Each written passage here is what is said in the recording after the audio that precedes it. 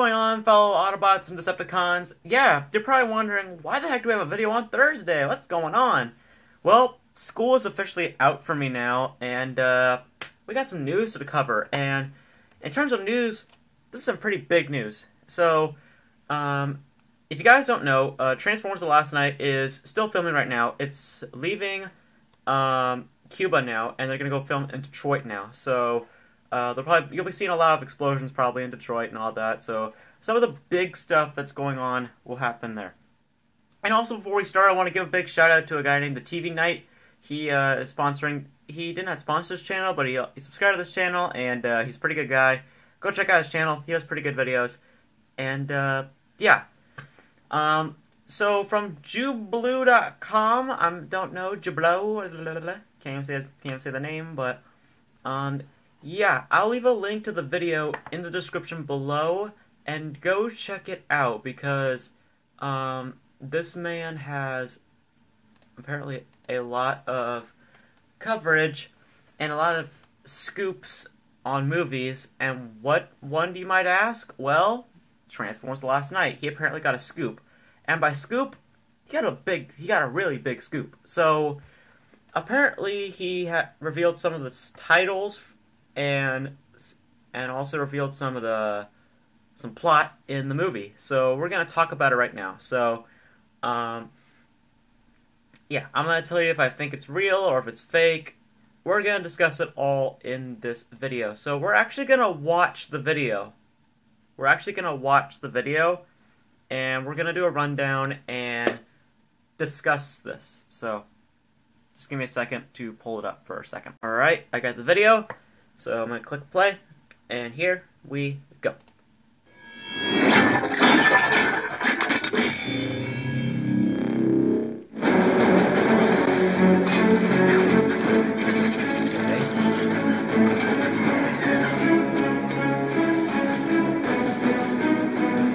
Man, I love that scene from the first movie. That's such an iconic scene. Very we fluid. are autonomous robotic organisms from Very the planet fluid. Cybertron. My name is Optimus Prime. That is. Alright. Hey guys, Paul Shirey with JoBlo.com here with another new scoop, this time from Michael Bay's fifth entry in the Transformers franchise, Transformers The Last Knight. Yep.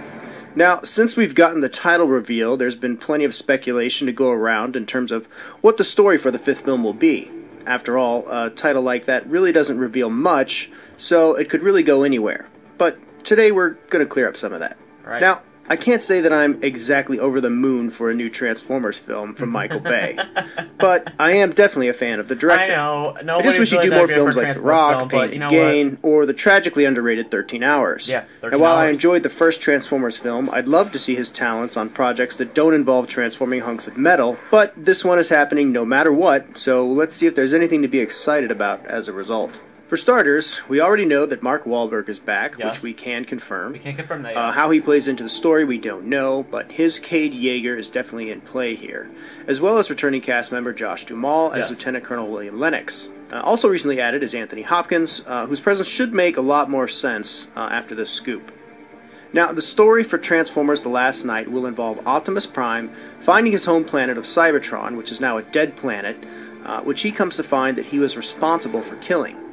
Now, he finds a way to bring the planet back to life, but in order to do so, he needs to find an artifact. And of course, Okay, we're gonna stop right there. So, mainly what the plot suggested is that uh, Optimus Prime goes to Cybertron, and apparently the planet is now dead, and uh, he is apparently responsible for it. Um. Okay. Um, I'm not super sure on how that goes or why he's responsible. But uh I could kind of see them going that route if they want to do it, but I don't know, man. That's a little uh I don't know. It's a little interesting, but uh yeah, Cybertron I can honestly see come into play here, but this is a this is a weird I don't know.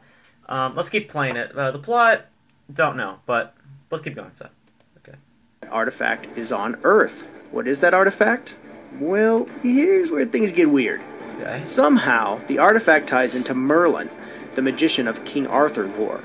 So apparently, the power of magic was given to Merlin by none other than a transformer, and somehow the artifact ties into this.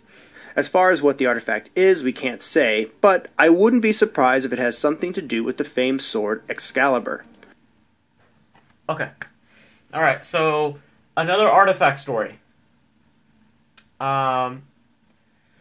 Okay, we've done we've seen this done in all the Michael Bay movies. We've seen in in the first one with the Allspark. We've seen the second one with the Matrix. The third one was the Pillars, and the fourth one was the Seed. So, um, if it's a sword, that would be interesting. I would like to see a sword come into play. Uh, uh, I don't know. That's uh, that's an interesting concept if they'd go do that route. Um, let's see. I'm trying to think of uh, what else he said. Um, it involves a lot of medieval times, and old Transformer apparently gave him this artifact. So uh, that would explain the old cars that we're getting in, in this movie. Because if you notice on set, there's a lot of old cars. So that would explain the the old cars. But um, it's interesting. So we'll talk about more about it at the end. But let's keep watching it. So that's an interesting part part of it. That's just speculation on my part, but it sounds reasonable. Now, of course, we've seen the effects of time travel in these films already and are aware of Transformers visiting Earth throughout the planet's existence. Okay, uh, just to, just to clarify, uh, t- time travel they it was involved in uh in uh in Revenge of the Fallen with Jetfire. Just to tell you that, so they did do time travel on that. So, just in case you're wondering what that meant. So that certainly fits with the universe they've created, and now it appears that the story will add British mythology to the narrative. In Yeah. terms of new and returning Transformers, we can confirm that Bumblebee will return, Yes. this time in a leadership role, while Optimus is off on his own mission. Okay, so all right, so Bumblebee taking on a leadership role. We kind of, I- I'll be honest, I kind of knew that this was going to happen because um, they told us in Age of Extinction that he did lead the Autobots, so I would assume that. And Optimus Prime's off on his own mission, so I, like I said in my last video, I kind of assumed that there were going to be two plots in this movie: one with Optimus Prime, one with Bumblebee, and the rest of the Autobots. So seems like they're doing that with here. So. Uh, yeah, seems like I was right on that right on that part. So let's keep going. Returning are Hound, Crosshairs, and Drift. Okay, we can't confirm that. We can't confirm that they're back, but we can. It's safe to assume that they are back. So Autobots, who are now settled on Earth, are making their home in the Badlands of South Dakota, which will serve as their base of operations. Um, base of operations. Um, I don't know if he means uh, if the military's back, like if that's why Captain Lennox is back, or they just set up their own base like they do in Transformers Prime.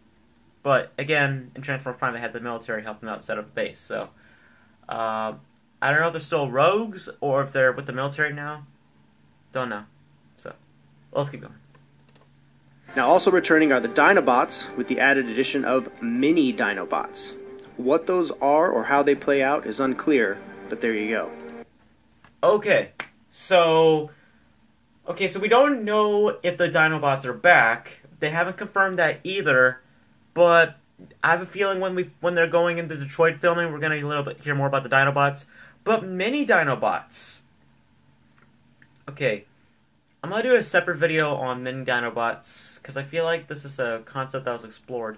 But mini Dinobots, um, I don't know why they would do this or if that is true, but I'm gonna I'm gonna say that that part's BS because I can't really. I don't see that happening. I think that we're just gonna stick with the Dinobots that we have. Maybe one more Dinobot, but I don't. I think we're mainly sticking with these four just because. I don't know if we can get mini Dinobots. They would really have to explain why mini Dinobots would come into play. But that's kind of a new concept, I guess. I don't know. I'll search up what mini Dinobots are, but yeah, I don't believe that part. So let's keep going. There will be three new Transformers as well, including some with English origins, which is likely where Anthony Hopkins will come into play. Okay. Okay. So you guys know that I've been doing videos on Anthony Hopkins possibly playing a possibly playing Unicron or Thundertron.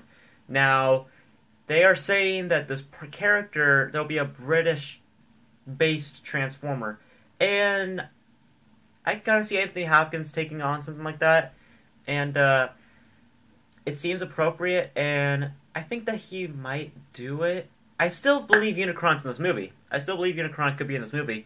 Um, but just thinking about it more, I think Anthony Hopkins suits more of a Transformer Autobot voice, and it would seem cool if it was somebody who I guess I would think would probably be Hoist, Springer, or Red Alert. Those are my three guesses of who they can be. So uh, we'll talk more about that in another video too. But let's keep going. Such characters called the Creator, who is said to have ties to the origins of the Transformers. A Transformer with an English accent named Cogman, whose alt mode is an Aston Martin, will appear, as well. Cogman. I've never heard of a Transformer named Cogman before. Very interesting. Transformer named Squeaks, whose alt mode is a Vespa. Squeaks. Okay, so we've seen a Transformer with a motorcycle with a Decepticon on it, and it's called and uh, we saw it on set, and I guess that his name is Squeaks. I don't know what that means. I'm gonna go. I'm gonna search up these names and see if these are Transformer names because these don't sound like Transformer names to me. If they are, they're really old. Cause that, so, let's keep going. Likely, I'd wager one of those uh, will be voiced by Anthony Hopkins. In addition, as has already been officially confirmed, the main villain is again Megatron, who will be back in full form with an alt mode as a jet fighter. And that's have. Okay. Again, we don't know if it's Megatron. I still call BS on that. I don't think it's Megatron. And this kind of confirms that he doesn't know much about about the the origins or much about the movie anyway because he basically said, "Oh yeah, Megatron's coming back and he has a jet mode." A jet mode. Uh, we've already seen that before in the first movie. I'm just saying. Is there anything else, just just, just in case? Latest installment of Transformers. It sounds consistent with the high concept ties that the previous films have used, so it's not a huge stretch in that regard. How it all comes together will be another story, but you can certainly expect the usual amount of robotic mayhem carnage, which seems to be the main appeal to these films at the moment. I just hope it's not three hours worth this time. Let us know what you think of the latest developments in the new Transformers. Okay, I think I think that's it. But uh, yeah, interesting concept. Uh, I don't know if they're gonna do it, but it could happen. So um, that's it. That's my breakdown of all this plot news that just came out. So uh, yeah. So I don't know. Some of the stuff is real. Some of the stuff is fake. Some of it's just total BS. But um, yeah, let me know in the comments below how you guys feel about this this uh these plot leaked and uh yeah, I'll have link to the video in the description below and expect this video to come out around like Friday or Saturday because this is a long video. So uh yeah, that's it for this video. If you guys enjoyed it, we are Rollout Nation and we always roll out. See you next time. And also Megatron's not not back. Just saying.